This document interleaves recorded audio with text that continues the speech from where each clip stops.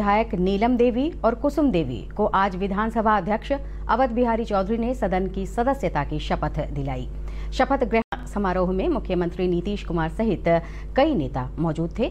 इस अवसर पर मोकामा और गोपालगंज के निर्वाचित इन विधायकों ने अपने विधानसभा क्षेत्र के जनहित के मुद्दों को प्रमुखता से उठाने का संकल्प लिया। जीत हुआ है, विकास भी। जो मेरा पति अधूरा छोड़कर चले गए हैं उसको हमको पूरा करना है। जो भी समस्या रहेगा हमारे क्षेत्र का मोकामा का उसका हम सवाल उठाएँगे। अगर उठाने लायक है तो उठाएँगे। समाचारों का सिलसिला जारी।